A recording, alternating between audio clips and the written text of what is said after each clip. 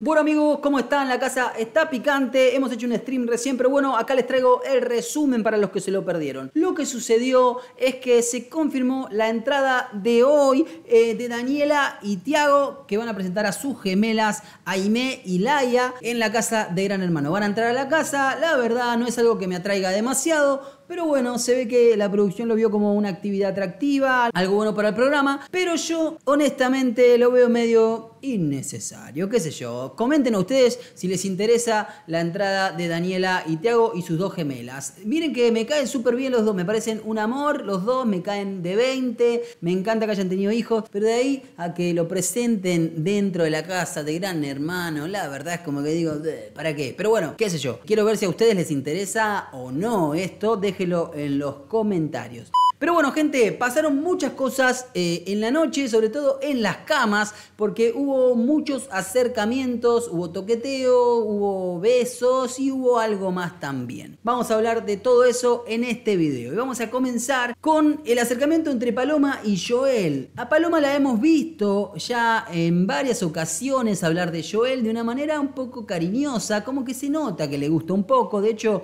en el día de ayer, eh, mientras preparaba la bañera con Emanuel, en un momento le dice a Emanuel como invitémoslo a Joel, bla bla bla bla bla bla, como dando indicios ya de que le atraía Joel. Y lo cierto es que esto se confirma en el día de ayer, en realidad en el día de hoy, en la madrugada, cuando Florencia se acerca al cuarto de los hombres donde estaba Joel acostadito solo y le dice como que Paloma lo estaba esperando para que duerman juntos, actuando como, como de Cupido Florencia. Y bueno, esto desembarca en una conversación que la verdad, sorprende un poquito. Mira lo que pasaba.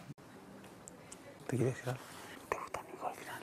Va a estar conmigo al final. No. No, Dari, decímelo. No, no por vamos a hacer nada. Vamos a. Déjate hinchar los huevos. Va- vamos, vamos a dormir. No, pero no me parece divertido. ¿Qué? No me parece divertido. Quiero estar con Paloma. Quiero estar con vos. Joel, ponete el micrófono porque te van a retar. Bueno, Joel le dice a Florencia que en realidad no le atrae mucho Paloma, que no tiene ganas, pero que se siente atraído por ella, haciéndose el picarón. Un Joel que lo veíamos tranquilito, bueno, se acabó esa tranquilidad, el tipo está tiroteando como loco a todas las nuevas. Lo cierto es que no le funcionó con Florencia, como habrán visto. Florencia le dice, che, dejate joder, no sé qué. Resulta que se hizo el difícil, pero terminó, obviamente, en la cama con Paloma, porque es así, gente. Los hombres somos muy fáciles, aparentemente, porque dijo que no le gustaba, terminó en la cama con Paloma a los 5 minutos. Y aunque no vimos demasiado que haya pasado algo, se los ve en la cama en un momento charlando. Mirá. Igual, ¿viste cuando te tapas? Son ¿viste cuando te tapas y haces tipo Si yo hago una de cama, que le damos 150? Hasta ahí parecía que no pasó nada, pero sí, gente, pasó y pasó mucho, porque vimos hablando a Denise y a Paloma sobre lo sucedido entre Joel y ella, y aparentemente en la cama hubo mucho, hubo toqueteo, hubo otras cositas también. Mira lo que decía. La puta madre que me. Hubo toqueteo de todo y me dice, hola, estoy muy caliente. Si te la meto acá, vos. Me dice, no garcho hace tres meses, imagínate. Sí, tienes razón, no garcho hace tres meses. ¿Qué quedaron? No, ¿Fingen demencia? Sí, obvio. Si él está atrás de Rosy, que Rosy no le da ni pelota. Bueno, acá Paloma confirma varias cosas. En primer lugar, confirma que pasó algo en la cama, que hubo toqueteo y que hubo una frase de Joel que llama mucho la atención, que le dice, hace tres meses que no tengo relaciones, estoy muy caliente y si te la meto, acabo. Básicamente. No sabemos hasta dónde llegó, seguramente nos enteraremos hoy. Lo cierto es que Paloma decide, al menos esto es lo que le dice a Denise, hacerse la boluda, hacer como de cuenta que no pasó nada, que, que- que solamente estuvieron charlando y demás, porque sabe que no tiene chance contra Joel, porque ella está segura que Joel está enamoradísimo de Rosina y que Rosina obviamente no le da ni bola.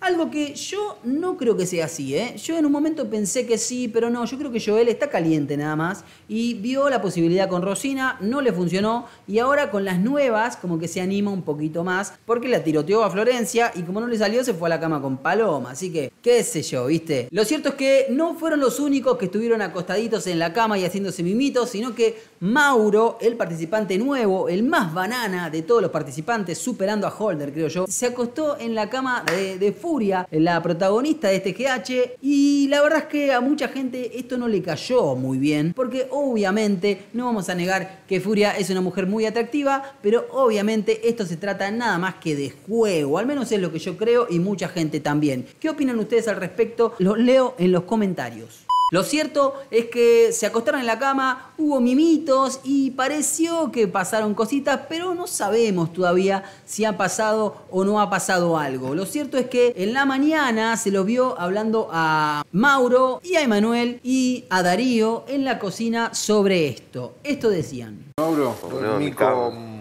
¿Y qué? Con furia. dormí. ¿Dormiste Con furia. con furia? Chapó todo. Pero la pusiste. ¿Eh? Pero la pusiste. Y había mucha gente mirándonos, estaban todos así. Pero estuve como media hora larga.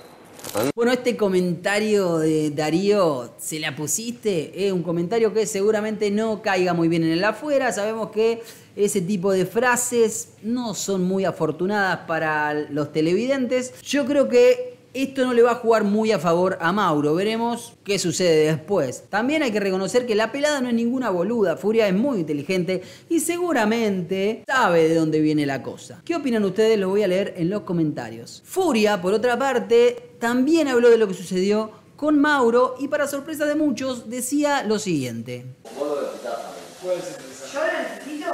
Pero no, yo no. Sí, pero no, chicos, no se puede agachar acá, que es un montón de gente. Es una vergüenza hacer eso.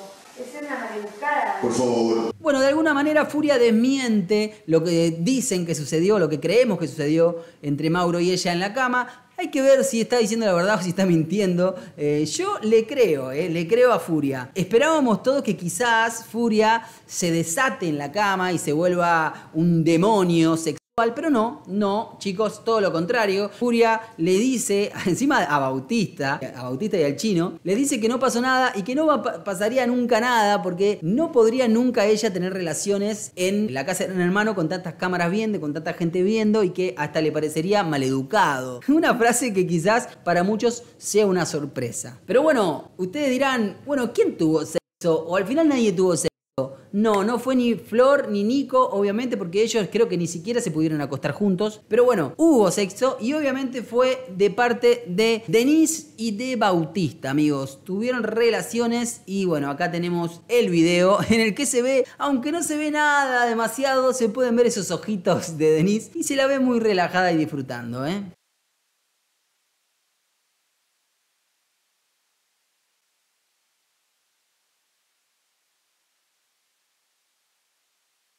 Así que bueno, gente, la casa está Kenchi, la casa aparentemente la entrada del repechaje, los nuevos, los ex participantes activaron y bueno, las cosas se van dando ahí adentro. Veremos hasta dónde llegan, ¿eh? Veremos hasta dónde llegan. ¿Qué opinan ustedes al respecto? Los leo en los comentarios.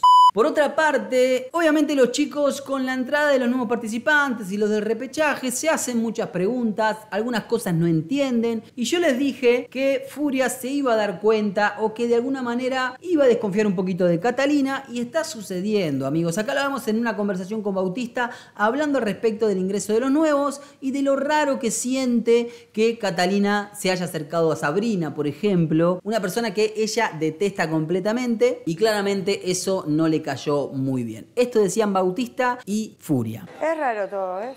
O Cata, es amiga de Sabrina. No sé si somos amigas de Sabrina. Sí. De hecho, en la cena hablaron. Y ella le dijo, eh, sé que Ya las vi hablando. tenemos buena onda, pero acá adentro no vamos a estar lejos de ser cosas. Estamos encerrados tres meses, no me vengan a cambiar el paradigma. Entonces van, seguro ya fuera salen de joda, sexo, candela, y nosotros acá. Candela. O sea, son todos amigos, o sea, no entiendo nada. Vienen acá y hablan cosas que nosotros no entendemos. Un poco de respeto para el que está acá encerrado y no entiende un pingo. Literal, gente ayuden, no, loco, o sea, ¿qué onda? Le decía a Deno, boludo, cuando empiezan a hablar y se miran entre todos, yo me, te volvés loco, loco, Es tu cabeza, tu cabeza carbura una banda. Aparte a ella le encanta el juego, boludo. O sea, Bueno, que venga a jugar entonces. Cuando estuvo acá no hizo un pingo, boludo. ¿Querés que te lo diga? Bueno, te lo digo. Como estrategia iba a dormir en nuestro cuarto y eso no sucedió. está re en su cuarto, boludo. Ayer la- la- le dije, si yo me quedo, dormís conmigo, te aviso. ¿Para qué, boludo? ¿Para, ¿Para qué? Que duerma con vos y ya. Ahora, si es una estrategia para hacerte sufrir, listo, avísame. Yo no sufro durmiendo solo para nada. tor- No sé, es raro la gente que entró, boludo. Bueno, también hablan de Denise, del acercamiento de Denise a algunos participantes,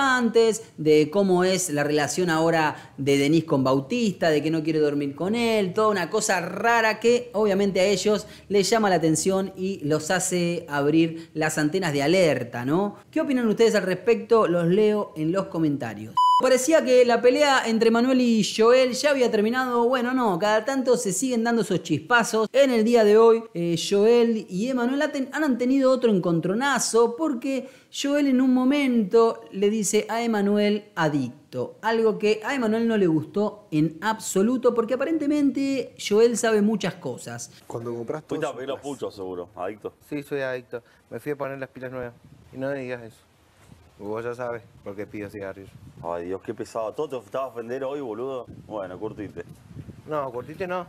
Estoy diciendo lo que sos. ¿Qué soy? A ver. Un adicto igual que yo, adicto al pucho. Soy lo que soy. Bueno, creo que Emanuel está muy sensible, salta rápido, porque creo que Joel en algún punto no le dijo adicto justamente por eso que Emanuel eh, le contó, sino le dijo adicto como en joda por el tema de los puchos, que está siendo un problema dentro de la casa. De hecho, le dice, sos un adicto al pucho como yo. ¿Qué sé yo? ¿Ustedes qué creen? ¿Que lo quiso picar un poco y que usó esa palabra a propósito o que se le escapó como en una charla?